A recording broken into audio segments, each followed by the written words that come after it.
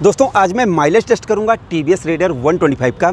इस बाइक की mileage testing के लिए आप लोगों ने बहुत ज़्यादा दिनों तक इंतज़ार किया। मुझे काफ़ी देर हो गई इस बाइक की वीडियो बनाने में माइलेज टेस्टिंग की। इसके लिए मैं आप लोगों से दिल से क्षमा चाहता हूँ। लेकिन आज मैं इसकी इको मोड में माइलेज टेस्ट करके बताऊँगा कि ये बाइक आपको कितने की माइलेज दे सकती है। इसमें दो मोड दिए गए हैं इको मोड और पावर मोड जिसमें आज मैं स्पेशली इको मोड में ही चेक करूँगा। और इको मोड में जैसे चलाई जाती है बाइक लगभग मैं 60 तक इसको चलाऊँगा रफ़ राइडिंग बिल्कुल भी नहीं करूँगा और माइलेज टेस्ट करके आपको बताऊँगा। क्योंकि जब मैं इसके बाद, इसकी पावर मोड में जब माइलेज टेस्टिंग करूँगा तो उसमें मैं रफ़ राइडिंग करूँगा, ज़्यादा तेज़ भगाऊँगा और उसमें भी मैं आपको माइलेज बताऊँगा। लेकिन आज आप देखेंगे इको मोड में, राहुल इधर दिखाओ, यहाँ पर आप देखेंगे, ये इको मोड है और ये पावर मोड है दोस्तों।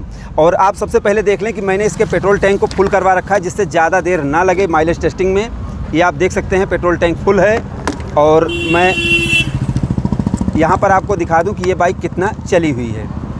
ये बाइक बिल्कुल नई है, अभी ये मात्र चली है सैंतालीस किलोमीटर, आप यहाँ पर देखेंगे सैंतालीस किलोमीटर, यहाँ पर ट्रिप मीटर में आप देखेंगे सैंतालीस दशमलव दो किलोमीटर ये दिखा रही है। तो अब मैं इसकी माइलेज टेस्टिंग की शुरुआत करता हूँ इको मोड में और आपको बताता हूँ कि ये बाइक कितने की माइलेज आपको दे सकती है। तो दोस्तों, अब मैं इस बाइक की माइलेज टेस्टिंग की शुरुआत करता हूँ और एक बार मैं फिर से आपको मीटर दिखा दूँ। आप यहाँ पर देखेंगे ये सैंतालीस दशमलव दो है और ये सैंतालीस है और इस ट्रिप ए को मैं ज़ीरो कर देता हूँ। ये ज़ीरो हो गया और ट्रिप टू दिखा देता हूँ, ये सैंतालीस दशमलव दो है और ट्रिप वन आप रेंज आप देखेंगे। ये रेंज आप देखेंगे, अभी ज़ीरो बता रहा है और अभी ये एवरेज चौवन किलोमीटर प्रति लीटर बता रही है। ट्रिप ए ज़ीरो है। और एक बार मैं फिर से आपको दिखा देता हूँ, यहाँ से पेट्रोल टैंक खोल के। कि कितना पेट्रोल इसमें भरा हुआ है।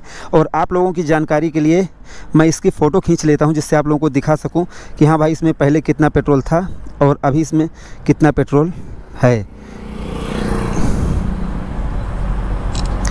और यहाँ से मैं मीटर की भी फ़ोटो खींच ही लेता हूँ जिससे आप लोगों को विश्वास रहे कि हाँ भाई, इसमें कितना चली थी। आप यहाँ पर देखेंगे सैंतालीस। और अब मैं इसको कर देता हूँ इस पर ये बताएगी माइलेज ये एवरेज बताती रहेगी। तो अब मैं इसकी शुरुआत कर देता हूँ भाई। चौथे गियर में बाइक खड़ी हुई है। फ़र्स्ट गियर लगा लेते हैं और यहाँ पर आप देखेंगे ये इको है और यहाँ पर ये इको दिखा रहा है। यहाँ पर मीटर में इको दिखा रहा है। स्टार्ट हो गई है।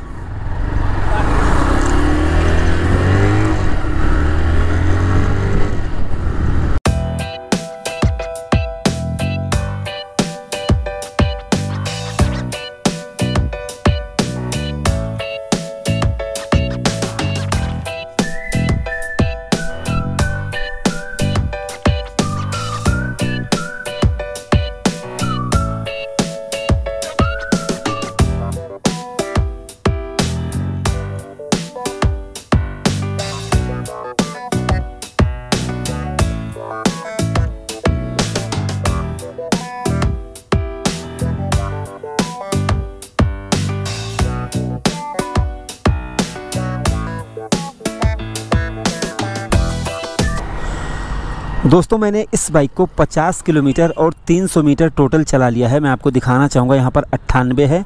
यहाँ पर ट्रिप ए में पचास दशमलव तीन किलोमीटर है। मोड में सेलेक्ट करके दिखा देता हूँ। ट्रिप बी सत्तानवे दशमलव छः है। रेंज और माइलेज ये बता रही है और ये अट्ठानवे इधर। अब मैं फिर से ट्रिप ए पर आ चुका हूँ और मैं इसको स्टार्ट करता हूँ और चल के सीधा पेट्रोल भरवाता हूँ।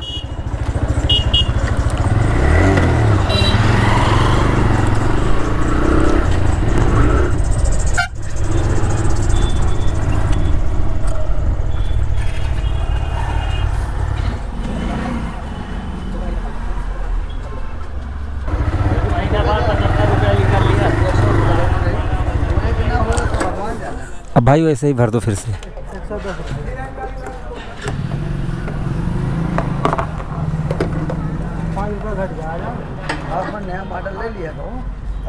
हम्म। अभी वही चेक कर रहे हैं। टैंक फुल करवा लिए थे। भर वैसे चल गया। बहुत दूर चला लिए। अब कहाँ कहाँ गए? बहुत दूर गए। अरे फिर भी बताओ तो। शहर भर में चलाए हैं। शहर भर में।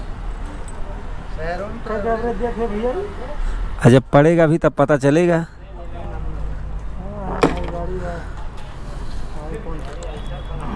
तो फुल कराए थे अब इससे पहले आके टैंक फुल करवा के गए हैं। एजेंसी से आए होंगे? नए एजेंसीज का है हमने ली है इस गाड़ी को। अच्छा। हाँ।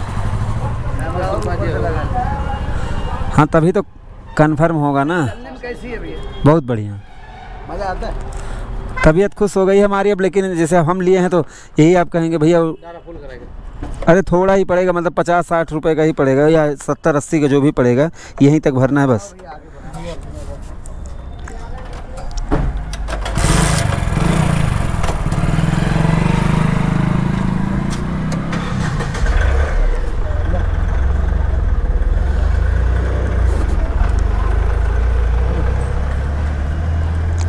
दो सौ दस के डाली बस करो।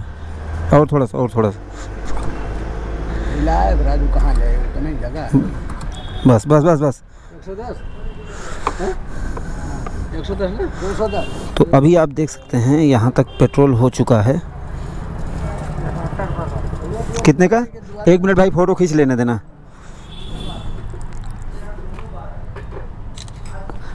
सात सौ ग्राम।